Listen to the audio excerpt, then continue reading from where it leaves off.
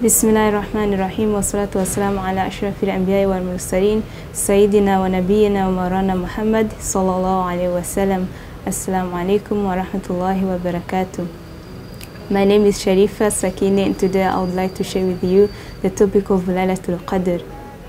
Allah subhanahu wa ta'ala mentioned in Surah Al-Qadr that verily we have sent it down, meaning the Quran, in the night of dignity. Laylatul Qadr is regarded as the night of honor and dignity as it was the night in which the Prophet wasallam received his first revelation in the cave of Hira.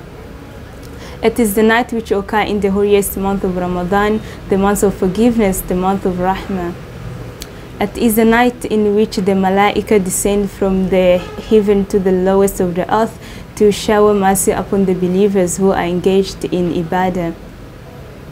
It is the night which occur in the last or the ninth days of the month of Ramadan, namely the 21st, 23rd, 25th, 27th, and 29th.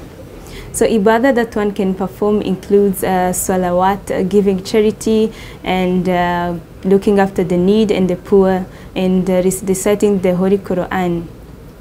So Allah subhanahu wa ta'ala mentioned in Laylatul in in um, Surah Al-Qadr that verily the night of dignity is uh, equivalent to the 2000 months is better than a thousand months which is equivalent to 83 years so let us implement, implement this in our daily life as it was the lifestyle of our Prophet Muhammad wasallam. and if you love him, you would love to implement that which he has encouraged you to do. Assalamu alaikum wa rahmatullahi wa barakatuh.